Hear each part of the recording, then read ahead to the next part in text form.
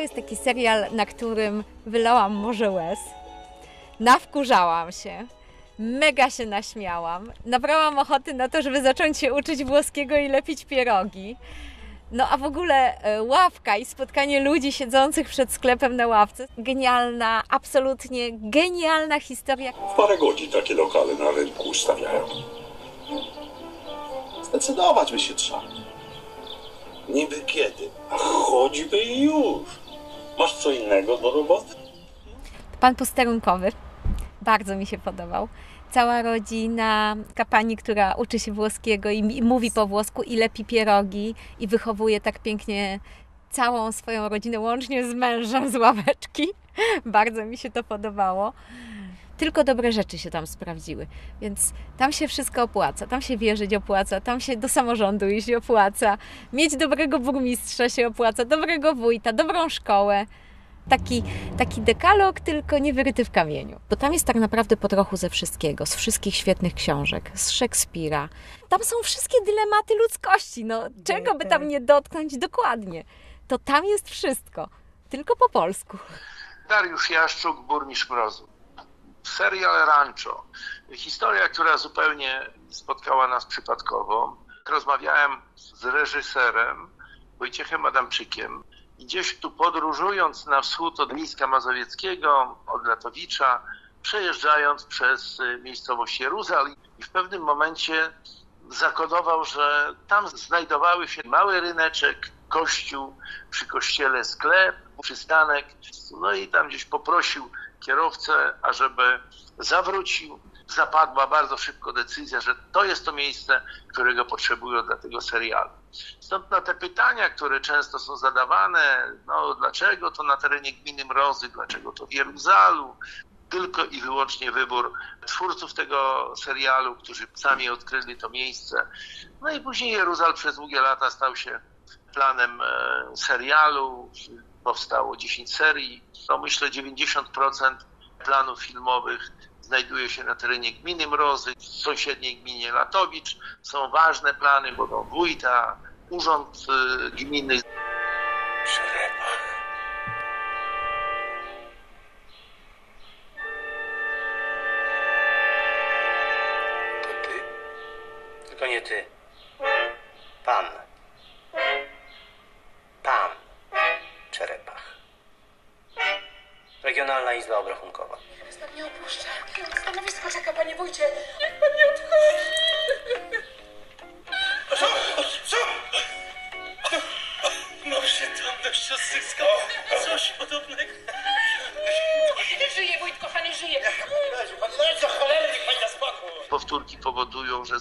Zainteresowanie jest i serialem coraz większe, i jednocześnie naszą miejscowością. No, miejscowością Jeruzal, ale nie tylko, zaczęli przyjeżdżać do nas turyści.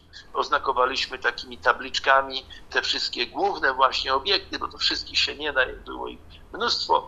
No, przede wszystkim docierało to, że miejscowość stała się popularna. Przyjeżdża tu mnóstwo ludzi. W tym roku był już drugi zlot fanów serialu Rancho. Rancho jest nazywane serialem wszechczasów. Myślę, że nikt się tego nie spodziewał. Przez lata pisali to wspólnie z Jurkiem Niemczukiem. Pierwsze przynajmniej chyba sześć, o ile dobrze pamiętam, serii. A cztery kolejne pisał już mój mąż sam. To był jego pomysł. A to jest właśnie to wielkie, ciężkie biurko. I ja kupiłam to mojemu mężowi. To był prezent. To był prezent, ponieważ zawsze wszędzie fruwały kartki, bo to były jeszcze te czasy, gdzie Andrzej pisał ręcznie. Zresztą mam starannie zachowane te jego egzemplarze. Papiery to sięgały, ja wiem, jakieś 80 centymetrów. Była wersja 1, wersja 2, wersja A, wersja B, wersja C. O, siedział na tym fotelu z nogami na biurku i komputerem na kolanach. I jeszcze jedną rzecz ci chciałam pokazać, To bo zostało tak, jak było? nie, ja nie jestem w stanie nawet obejrzeć rancza. Zresztą do końca pisał to ranczo. E, A pomysły tak spadały z nieba? On miał fantastyczny taki słuch społeczny. Nigdy nie wychował się na wsi. W ogóle nie miał nigdy nic wspólnego ze wsią. Nigdy, bo nawet jego babcie mieszkały w- w Warszawie. Miejski chłopak. Zdecydowanie miejski. I I zresztą to widać w niektórych momentach rancza. Ja się zawsze śmiałam ze swojego męża, bo ja przeciwnie byłam wychowywana na wsi przez moje babcie i uwielbiałam tam być.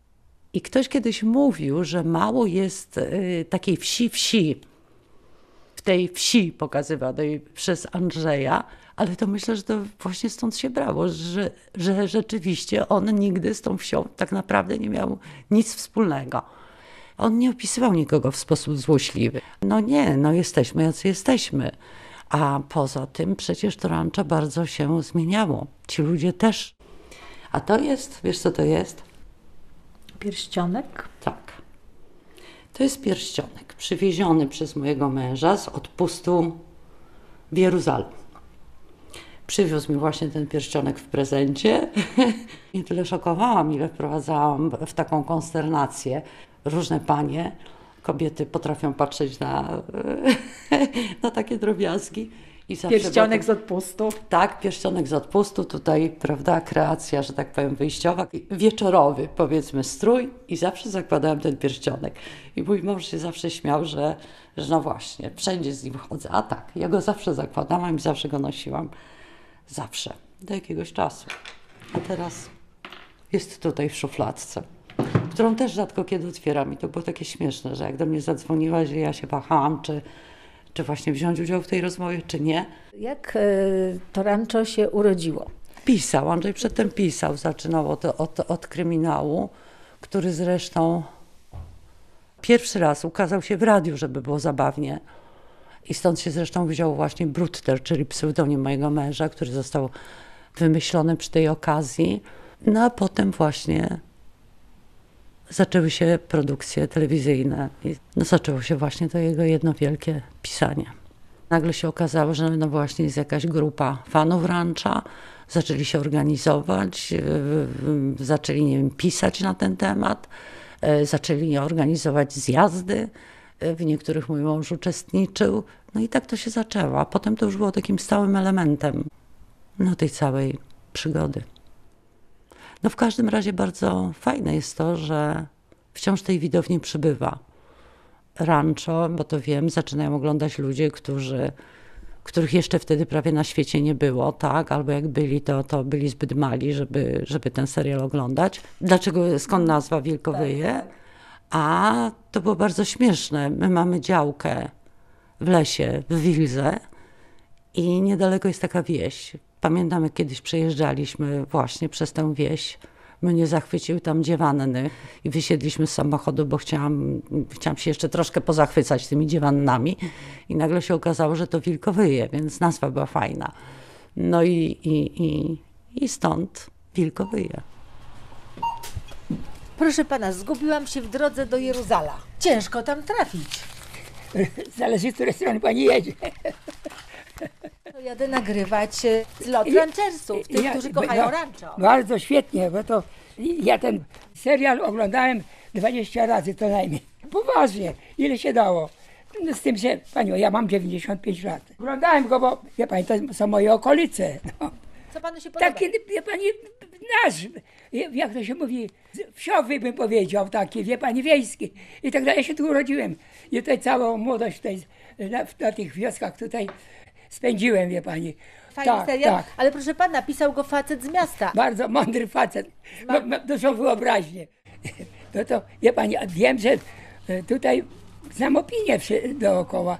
To wszyscy byli zachwyceni, wie pani, tym, tym serialem. Tak? Nie obrażeni. O skądże? Nie, nie. To wie pani, no z tym e, e, lekarzem e, wozułem, tak? No może ta, takich onieśmielonych lekarzy to może się nie zdarzało. Wie pani, z tym, że już kilku osób nie ma. No. Ławeczka już jest niepełna. E, Poza tym, Kusy. no przede wszystkim kusy. No, kusy odgrywał tą swoją rolę fantastycznie. No. Był takim, jak to powiedzieć, wieszczem wiejskim. No, no Lucy, no to wiadomo, no Ameryka i ta cała scena z tymi, e, wie pani, z tym lotniskiem amerykańskim. No, Bardzo się fajnie rozmawiało, to teraz jadę do Jeruzala.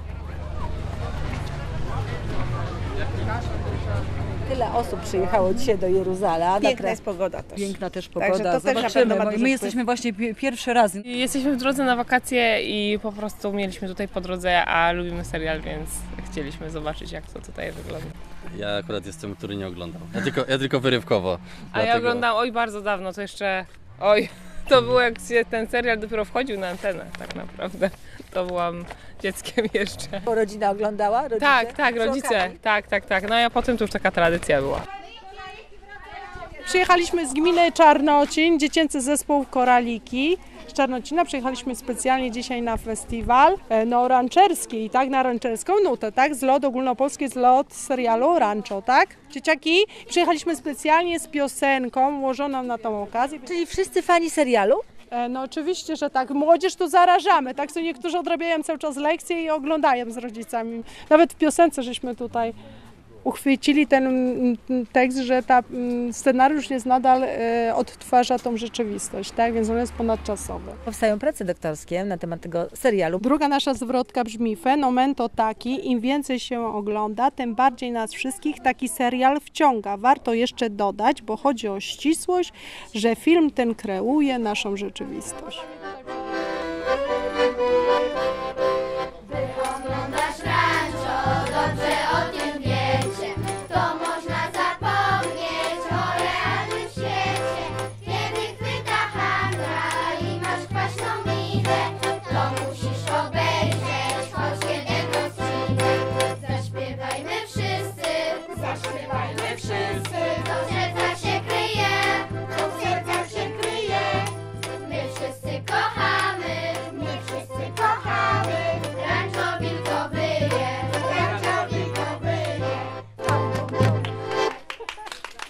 Słyszałam drugi plan. Ty też fani serialu przy okazji? Oczywiście, oczywiście, że tak. A proszę mi powiedzieć, czy są takie sceny w serialu, które zapadły w pamięć z jakiegoś powodu? Co ja piłem? Sikał i wybuchł pożar podczas No. sikania. Co ja piłem? Tak zwane. Co ja piłam? Ile razy Państwo już oglądali ten serial? Jeden raz czy bo Ojej, nie, no gdzie tam jeden raz. Za każdym razem się ogląda je z miłą chęcią, nawet i powtórki. Tak. Fani serialu? Tak. Tak. No jest to rzeczywiście nasze życie w takim troszeczkę krzywym zwierciadle, ale z humorem. Także całe, całe i życie społeczne i polityczne można tu znaleźć. Ile razy już Pan oglądał ten serial? Wie Pani co, nie, nie liczymy ile razy, bo kończy się jeden se- cykl, zaczyna się drugi. Fajnie się ogląda i A idol? Bohater z tego serialu taki. A pan Stach Japycz, bardzo go lubię. A dla Pana? Solejukowa. Przemiana taka największa. Przy okazji będę miał sprawę do pani syna. A do którego? Bo ja sześciu mam. Na Wydział Filozoficzny w Lublinie mnie przyjęli. Zaoczny. A skąd tu cholery jednak tyle pieniędzy nabrał? Co? Skąd no? Tylko jedyna. A wy tu co? Już dzioba umoczyć, a? Solikowa. Solikowa, ty chcesz w gotówce czy na konto osobiste? Panu Bogu dziękować, rozdzielność majątkową mamy. Co, pijaku? Co, mamo? Co, mamo? Torbę lepiej wiesz, stary matce pomóż. Gitarę będzie nosił. To jest konkurs wiedzy o rancho, proszę pani, na razie eliminacje do ćwierćfinału. Strasznie nam to dużo czasu zajmuje, bo jest mnóstwo chętnych. Pytania są o rozmaitym stopniu trudności. Bo zaczynamy drugą, drugą tam, eliminację. Druga, ja część. No jak dla mnie to proste te 17 pytań, tylko jednego nie jestem pewna, ale myślałam, że dłużej mi zajdzie niż, yy, niż te 3 minuty. Ale jakiego pytania? O imię prezydenta, z jakim walczył Kozioł podczas debaty. To tylko jego imienia nie jestem pewna. A skąd taka głęboka wiedza o serialu? Oglądam serial od roku 2006 praktycznie, czyli odkąd mi rodzice włączyli i tak i tak yy, odkąd jest na Netflixie też dostępny, to oglądam codziennie, parę odcinków i tak jakoś bardzo, bardzo lubię ten serial. To jest generalnie mój ulubiony z polskich, także chyba dlatego. Bo jest zabawny, na pewno uczy, też to mogę powiedzieć. Yy, jest bardzo dobrze zrobiony oraz chyba tak też z sentymentu, bo jak się od dziecka coś ogląda, no to tak może dlatego. A kiedy dowiedziałaś się o zlocie? Z- O zlocie dowiedziałam się rok temu, jak był poprzedni, ale nie mogłam na niego przyjechać, dlatego w tym roku po prostu zobaczyłam na grupie, kiedy będzie, także dołączyłam i zobaczyłam, że jest 12 sierpnia. A kiedy tutaj przyjechałaś, gdybyś mogła mi powiedzieć, co tu zobaczyłaś właściwie w tym Jeruzalem? E, bardzo dużo osób na pewno. Tak, Wysiadła bardzo, z samochodu, tak, się bardzo się rozpłakała. rozpłakałam, bo to było no, takie, może głupie, ale dla mnie jakieś takie bardzo znaczące i emocjonalne być w końcu w miejscu, kiedy nagrywają mój ulubiony serial. E, teraz idę na studia, e, na nauczanie języków na Uniwersytecie Warszawskim. Interesuję się rękodziełem, dużo szydełkuję, rysuję, maluję. Wydawałoby Dziadek się. cię zaraził, tak? No może tak, rodzice i chyba dziadkowie mnie bardzo zarazili do tego serialu. Szczerze nie uważam, że tak za bardzo do mnie nie pasuje. Ja, wiele młodych osób jak go ogląda, to raczej powiedzą, że go bardzo lubią i bardziej rozumieją, niż, y, niż będą tylko mówić, haha, śmieszny polski serial. Idole to na pewno będzie e, pan Franciszek Pieczka, jako mój ulubiony aktor oraz... Właśnie wczoraj jechałam piękną i zobaczyłam ten piękny mural, na którym pan Mhm, Pieczka jest. Tak. tak. się też I, I Artur Barciś, jako też no, jeden z ulubionych aktorów polskich. Poza tym też y, opowiada o sytuacji Polski, o problemach między Polakami. I, I nawet mnie tym zarazili, bo ja wcześniej nie oglądałam zupełnie tego serialu. To się zakończyło w bardzo dobrym momencie moim zdaniem. No, przemiana prezydenta Pawła Kozioła, to pogodzenie między Lucy a Kusem i po prostu chciałam się sprawdzić. I też z takiego... mm, No ja lubię wyzwania, więc jakbym nie wzięła, to po prostu miałabym do siebie pretensje. A to zawsze urozmaica jakiś czas spędzony tutaj. Ale za pierwsze miejsce pamiętam, że jest chyba płyta z pierwszym sezonem Rancha. E, No oczywiście dyplom i scenariusz podpisany przez, przez scenarzystę. Aż telefon. Noszę zdjęcie głównych postaci. To jednak poważna sprawa. Tak, to jest, to jest już obsesyjnie. My w kolejce do quizu. No, stoimy już godzinę w kolejce, także jest, jest trochę osób. Wie pan o serialu wszystko? Myślę, że tak. W naszym przypadku jestem tutaj z synem 23-letnim. Ja miałem jakieś 12 lat, kiedy zacząłem oglądać i te ostatnie trzy serie, 8, 9, 10 już oglądałem na żywo jak wychodziły. Teraz w domu cały czas, tak jak tata powiedział, na okrągło puszczamy sobie rancho. Jest po części filmem dokumentalnym. Ja akurat pracuję w samorządzie i wiele tych zachowań urzędniczych niestety e, też obserwuję. Jest ich coraz mniej, bo też czasy się bardzo zmieniają e, od czasu emisji pierwszej serii. To już na pewno inna Polska, inna rzeczywistość. Ja już szkołę skończyłem, ale jeśli chodzi o oświatę, w ranczu została przedstawiona jeden do jednego. Podobnie jak wszystkie inne grupy społeczne, naprawdę Robert Brutter i wszyscy inni scenarzyści, którzy pracowali przy ranczu, musieli być prawdziwymi geniuszami, ponieważ te nasze polskie... Geniusz, no geniusz. Po, nasze polskie realia oddane jeden do jednego. A wiecie, kto się kryje za tym e, pseudonimem? Ja nie wiem. Mikołaj wie. Myślałem, Ja nie wiem. wiesz. Ja wiedziałem, ale zapomniałem. Andrzej Gębowicz. Andrzej Gębowicz, tak, nie, nie żyjący już, tak, tak. Wielka strata, bo był też scenarzystą między innymi Rodziny Zastępczej, prawda? Też ta wieś jest trochę wyidealizowana, trochę wystylizowana na taką podlaską, podlaski zaścianek.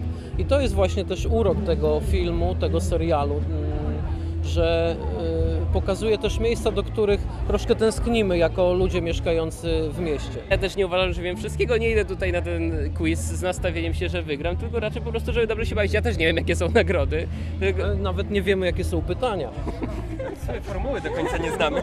Myślę, że tutaj e, 98% e, ludzi, którzy tutaj się dzisiaj znaleźli, są fanami tego serialu, gdyż nie jechaliby ponad 100 km, tak jak w naszym przypadku 150, żeby się znaleźć pod sklepem pani Krysi Więcławskiej bez e, tego umiłowania. Ale to widać tak jak tej- tej- Piotr Pręgowski, który niedawno na scenie tutaj się zaprezentował, prosił o podniesienie rąk osoby, które nie oglądały nigdy serialu i podniosły ręce dwie osoby na cały plac, więc wydaje mi To się, zrobili że... chyba nawet dla zgrywy po prostu. A skąd panowie? My jesteśmy z Podradomia. Radom też jest e, obiektem e, różnych prześmiewczych memów, ale zapewniam, że nie jest to prawda. Może, może tylko trochę. Mówiąc o fanach, tu jest Instagram, który prowadzę, gdzie wrzucam zdjęcia ludzików Lego i tutaj jest odtworzona ławeczka. Grupa na Facebooku fanów Rancha, która zrzesza i na której się często udzielamy, na której właśnie wiele osób lubi wymieniać swoje spostrzeżenia z serialu i tam to zdjęcie cieszyło się dużą popularnością.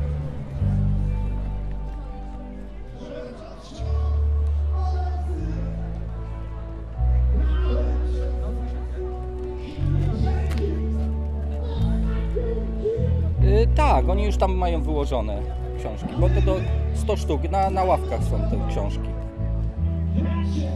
ła- e, książki są w pudełku w, w tym dużym namiocie. Nazywam się Witold Krzysztof Wronka. Jestem muzykiem od bardzo wielu lat. Gram na perkusji, piszę wiersze, piszę teksty piosenek.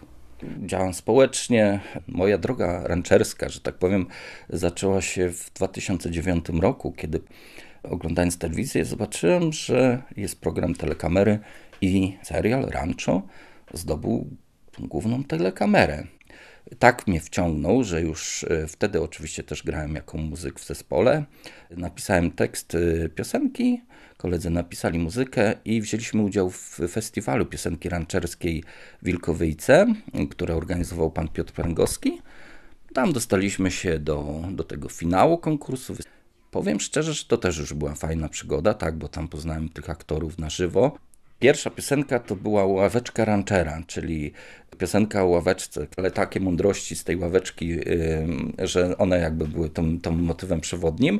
No, gdzieś to mam, ale dla mnie właśnie osobiście takim też przełomowym dniem było to, że w 2021 roku yy, gmina, miasto i gmina Mrozy ogłosiła yy, coś takiego, że stworzy rondo serialu Rancho właśnie w Jeruzalu. Tam, gdzie większość scen y, takich y, plenerowych było y, kręcone. Chodźmy do mojego ulubionego miejsca, bo mam takie tutaj, ponieważ mamy Rondo Gwiazd, tak, e, rancha, serialu, gdzie e, są uhonorowani wszyscy, e, którzy brali udział w realizacji, aktorzy, scenarzysta, reżyserzy. Stoimy właśnie przed, dla mnie najważniejszą, ufundowaną przez, przeze mnie i moją żonę, dla tablicę dla pana Andrzeja Grębowicza, który, którego jestem fanem, nie ukrywam. Pomysłodawca i scenarzysta Andrzej Grębowicz, Robert Brutter, bo bez niej nie byłoby rancha. To jest pomysłodawca, od niego się zaczęło i gdyby nie on, tego rancha by nie było. To, że wspaniali aktorzy, wspaniały reżyser, to druga strona medalu, ale najważniejszy jest, najważniejsza jest ta myśl i ten człowiek, który to stworzył dla mnie każdy, kto przyjedzie do, do naszego Jeruzala, do naszej Wilkowej, będzie mógł sobie e, zobaczyć tą, e, tą tablicę i wszystkie inne.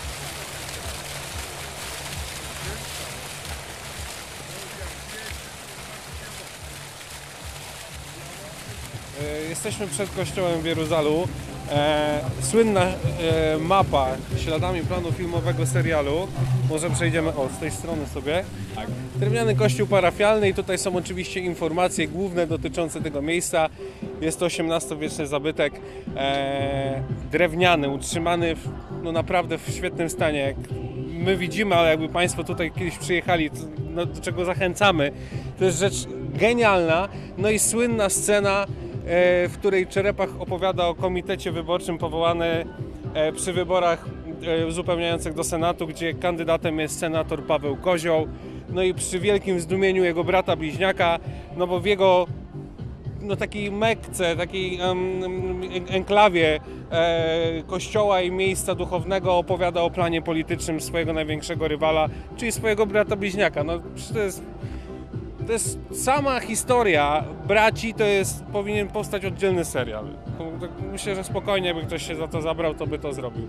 No i e, jaka reakcja księdza Macieja też na to, co pada, tak? No, także wszystko ujęte w jednym kadrze, no i świetna, e, świetnie zrobiona, zro- zrobiona grafika i rysunek. I takich tablic tu jest? Takich tablic jest sporo.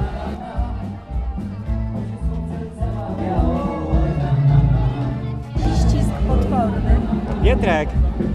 Pietrek jest. Patryk Pietrek. Oglądaliśmy to z 15 razy. No ja trochę mniej. No bo jest kultowy. Pan Pongowski daje autografy i selfie sobie robi, ponieważ e, moje dzieci nauczyły mnie oglądać e, rancho, a mam dużo dzieci jak Solejukowa i uważam, że to jest bardzo dobry serial, ponieważ jednoczy całą rodzinę. Ja mam dzieci na przestrzeni 17 lat, między najstarszym a najmłodszym jest różnica wieku aż tyle lat i uważam, że dzieci uczą się wtedy całej struktury administracyjnej kraju. Bardzo, ten, ten serial dużo uczy. Co, czym jest przyjaźń, koleżeństwo, a także wielki kompleks rodziny wielodzietnej też leczymy. Miesz- Mieszkamy w dużym mieście, nie jesteśmy ubodzy, ale bardzo wiele osób, których moich znajomych, postać Solejukowej mamom bardzo pomogła, że jest pokazana jako osoba, która zna języki, która jest bardzo pracowita, która tak naprawdę jest głową rodziny, bo mąż jest jaki jest. Tak. Uważam, że ławeczka, wszystkie postaci, które za się patrzą, od, od Leona Niemczyka, który grał brata Stacha. E, później Franciszek Pieczka go zas- zastąpił. Ławeczka jak starożytny chór grecki. On całą mądrość, y, mądrość po prostu przedstawia i każdy sezon, jeden lepszy, drugi gorszy, ale ma ogromne wartości. To, co wspominałam, że generalnie zanikło w polskim kinie, ale nie tylko ogólnoświatowym, coś takiego jak kino familijne. A to jest właśnie kino familijne. Śmieją znajomi, że jak się do nas wejdzie, to co leci u- w naszej rodzinie? Rancho. Dobra. Ale poproszę, żeby tu się spojrzał. Dobra. Je, o, jest.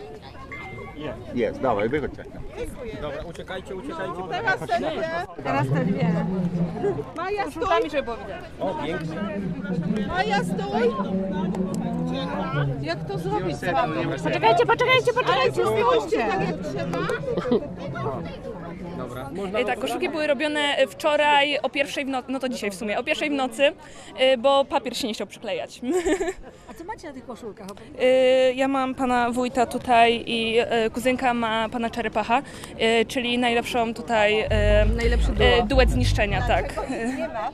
Y, My też lubimy bardzo właśnie duet Joli i Pietrka. No to są chyba takie najlepsze, no i babka oczywiście, no babka, ksiądz proboszcz też. Nie no, wszyscy są świetni. Dzieci Solejukowej. Dzieci Solejukowej, Jechaliśmy ponad dwie godziny. Ile dziewczyny kilometrów? 250 Uniejowa. No nie, już. Ja też z Poznania. Ja jestem siostrą. Aha. Tak. No to rzeczywiście. Żeby, żeby zobaczyć tych najgłówniejszych. Nie no, wiedzieliśmy, że ich nie będzie babci. A co robicie na co dzień? No ja się uczę i mam Gdzie? nadzieję, że kuzynka też. No w Poznaniu, w liceum. Oczywiście, że tęsknimy, ale wydaje mi się, że zakończenie było tak fajnie zrobione, że teraz jakby była próba kontynuacji, to, to już by nie było to samo. Tam do namiotu jakby pan poszedł. Nie, no błagam Dwa was. kroczki. Przyjdź, a to wy przyjdźcie dwa kroczki tu. Ty, Ale Tak? no ja tu już stoję godzinę. Nie, no błagam was. Dobra, dajcie dobra. spokój.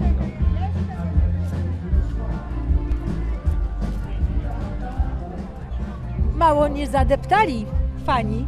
No, na fundamencie rosną piękne kwiaty. Można powiedzieć, jak na, jak na dobrym podłożu. Em, no co ja mogę powiedzieć? No, ja już się zziajałem, także nie, nie bardzo nawet wiem, co gadać.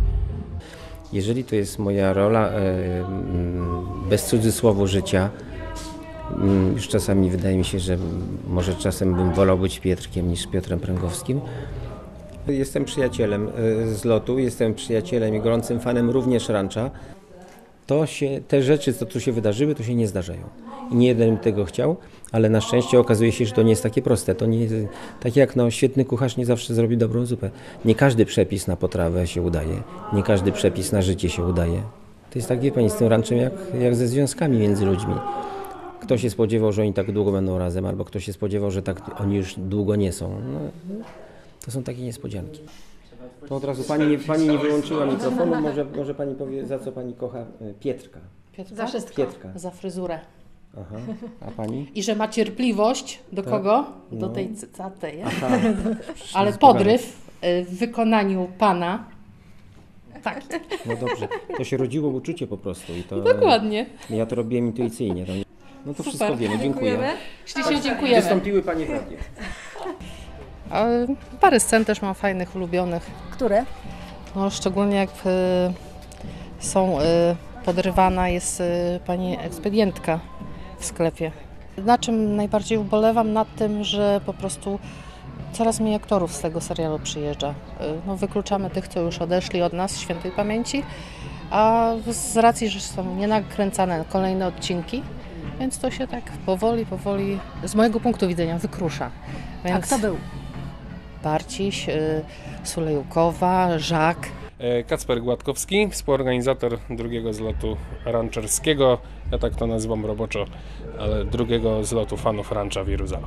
To tutaj najlepsze miejsce dla wójta było i dla Michałowej na kontemplację. Kościele? Tak, przy kościele w Jeruzalu. To tutaj były te słynne dialogi umoralniające. No i na tej ławce, e, którą akurat pani widzi, a reszta nie, e, to jest ławeczka, na której rysował kłusy i chciał znaleźć rodzaj nieskończoności w artyzmie, ale nie miał akurat tutaj koncepcji na to. Jesteśmy w sercu e, serialu, jesteśmy w miejscu, które przez 10 lat był tworzony serial Rancho. Warto chorować na Rancho, ponieważ to jest rzecz przyjemna, tak to wygląda. A po liczbie osób, e, po reakcjach, po komentarzach, e, nie tylko na koszulkę, której, które Państwo nie widzą, ale można czytać słynny cytat. Nie pozwólcie, żeby że nami rządził Biały Dom. To jest słynny cytat z kampanii wyborczej, gdzie walczył e, jeszcze wtedy wójt Kozioł z Lucy Wilską po prostu. I to było odniesienie do jej dworku. Także ja wracam tak mniej więcej jakieś 3-4 razy w roku do serialu Rancho i przelatuję wszystkie 10 sezonów. Jesteśmy na różnych forach y, na Facebooku, a rozmawiam na privie, na Messengerze, gdzieś tam na Facebooku, czy na jakichś innych po prostu komunikatorach. Y, Mam takiego znajomego, który jak kończy serię, to zaczyna za chwilę od nowa. Tak, tak się kręci życie ranchersa. Ostatni odcinek zakończył się tym, że prezydentem Polski zostaje dawny wójt, dawny senator, dawny polityk, senator Paweł Kozioł. Jest wielka uroczystość w kościele, który jest koło nas i w Jeruzalu i można e, sobie tą scenę odtworzyć. I, i, I na tym się kończy. Znaczy, sama ostatnia scena odbywa się na ławeczce pod, pod sklepem Krystyny Więcławskiej i tam pada e, słowa słynne, genialne z Stacha Japycza, czyli Franciszka Pieczki. Ludzie, kochani, lubmy się trochę więcej. Czy to nie jest piękna puenta? Aktualnie piszemy książkę wraz z Justyną Wojdyło, Marcinem Żytą, który był na planie rancha od e, szóstego sezonu. Towarzyszył też, był statystą w kilku scenach. I właśnie z Witoldem e, Krzysztofem Wronką współtworzymy książkę na rancherskim szlaku. No to uwielbienie tego serialu po prostu. ranchersi. Jestem im bardzo wdzięczna. Wdzięczna jestem, bo, bo dawali bardzo dużo siły mojemu mężowi i to w tych momentach, które były już później bardzo trudne, również cały czas przy nim byli i wierni są do tej pory, chociaż już minęło 5 lat, odkąd mojego męża nie ma. E, tu ci mogę pokazać. Jest taki aniołek. Mój mąż nigdy nie był ckliwą, sentymentalną osobą. Ale zobacz, na tym biurku, przy którym właśnie pracował i pisał rancho, jest zdjęcie mojego męża i jest taki aniołek. Mały aniołek metalowy. I ja nawet byłam zdziwiona, że właśnie stoi na biurku mojego męża.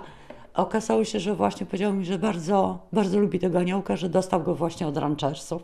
Więc ranchersi byli zawsze obecni. Pamiętam, że po każdym odcinku Andrzej pędził od razu do, do komputera, internet, co ranchersi myślą, co ranchersi powiedzieli, co, na, co napisali. I oni też współtworzyli ten serial, bo Andrzej bardzo, bardzo serio traktował ich uwagi. Mam na imię Marcin i jestem ranchoholikiem. To chyba najlepiej oddaje w ogóle stan mojego ducha podejścia do, do tego serialu. Zaczęło się od niewinnej przygody, a skończyło się, no można powiedzieć, uzależnieniem. Jako, że od wielu lat pracuję y, w dosyć takich nietypowych mm, warunkach, ponieważ jestem muzykiem, ale pracuję na statku pasażerskim. Jakieś kłopoty techniczne y, z mojej strony, to nagranie może nie być najlepszej jakości, ale to bierze się z tego, że akurat właśnie płyniemy u wybrzeży Japonii. No i serial mnie po prostu powalił na e, kolana. Na jednym kontrakcie obejrzałem go chyba jeszcze raz i wtedy y, znalazłem coś takiego jak forum fanów serialu, które działało już jak się okazało od pierwszej serii. Zarejestrowałem się na tym forum, zacząłem się tam udzielać i no okazało się, że takich wariatów pozytywnych jest więcej. Yy, Doszło do kilku spotkań y, poza planem jeszcze. Spotkaliśmy się w fantastycznym, na fantastycznej majówce w 2011 roku.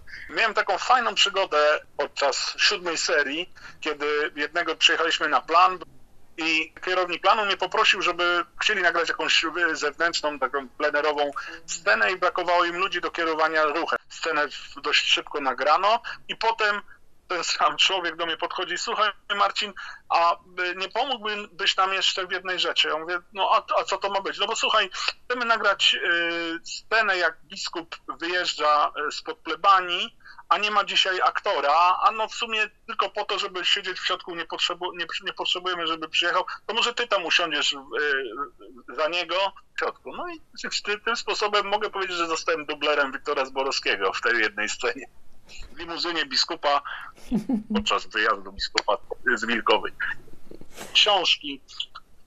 Taki roboczy tytuł jest na rancherskim szlaku, ponieważ w niej chcemy, ja, ja z mojej strony, jak to będzie wyglądało, chcę właśnie moje wspomnienia z planu tam opisać, a oprócz tego też y, opisać i razem z dokumentacją fotograficzną większość, zdecydowaną większość y, miejsc serialowych, bo te- też sobie tak założyłem, że chciałbym zobaczyć tyle tych miejsc, jak tylko y, jest to możliwe. No i, no i właśnie tak już kilkadziesiąt tych y, obiektów y, zobaczyłem, obfotografowałem i teraz chciałbym też je opisać, tak żeby inni fani mogli na podstawie tego stworzyć sobie jakąś, może nawet mapkę, według której pojadą i, i, te, i te obiekty obejrzą.